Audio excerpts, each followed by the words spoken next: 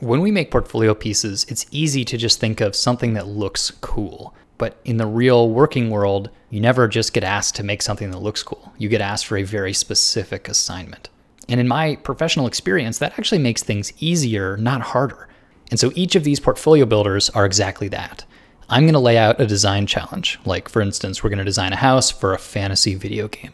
And then the rest of the series is not so much a painting demo as it is me going through this design challenge. And I start with planning and I go through the sketch phase and build it all the way to a finished image. But what I'm focusing on is how to approach design. And I'm not the star of the show. Really, this is about you. You are building a portfolio. So the whole time I'm explaining my process, I'm focusing on how you could do it differently or how you might approach this aspect of the challenge for your own artwork. So you're not going to end up with the painting that I start. You're going to make your own. It's sort of like I'm working over here, you're working over there, and we both end up with a portfolio piece. Even though we started from the same design challenge, they're going to be really different. And for the initial release, I have four different ones. In house design, we are designing for either a fantasy game or movie, and we start with rough thumbnails, add a little 3D in there, go all the way through to the finished illustration, and then we go above and beyond and sort of thumbnail for an entire village. The next one I'm really excited about, which is game icons. And this is something that is often not talked about among concept artists.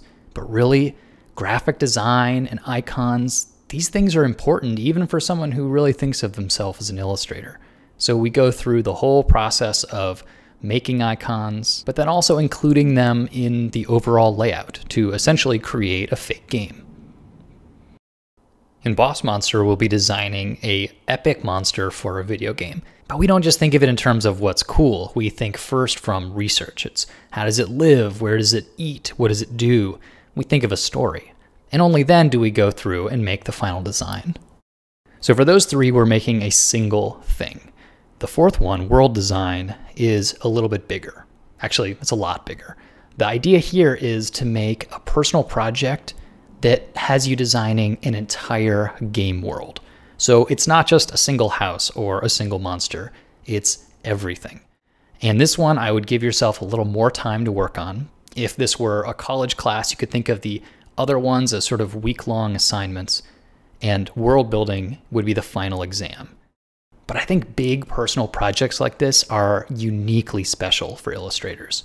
So the goal is not to teach you exactly how to paint, but it's to encourage you to go on your own sort of concept art journey. And I'm just going to give you a structure to do that. Because really, if it were possible for me to be your personal mentor, I would. But obviously, there's just too many of you guys. But if what you're looking for is guidance in improving your portfolio, I've really created this series for you, and I hope you check it out. Thanks for coming to the site, guys.